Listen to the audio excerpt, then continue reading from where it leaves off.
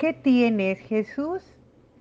Que perdonas lo que el hombre no perdona, que olvidas lo que el ser humano no olvida, que vas al fondo de las cosas cuando nosotros nos quedamos satisfechos en lo superficial.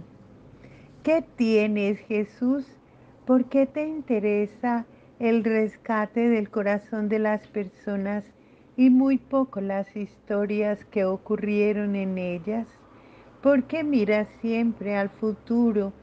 A nosotros nos gusta siempre mirar el pasado. Tienes, Señor, la fuerza del amor de Dios. Tienes, Señor, la garantía de quien te envía. Tienes, Señor, la ley del amor, no la ley humana. Tienes, Señor, compasión por el hombre.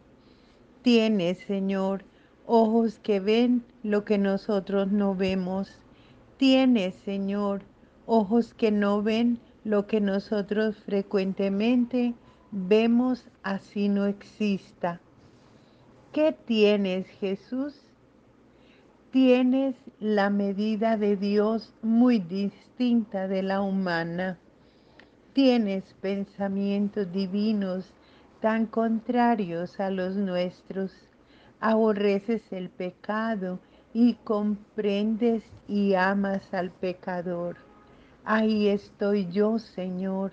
Soy pecador, pero muchas veces, las más de las veces, me convierto en duro juez, Señor.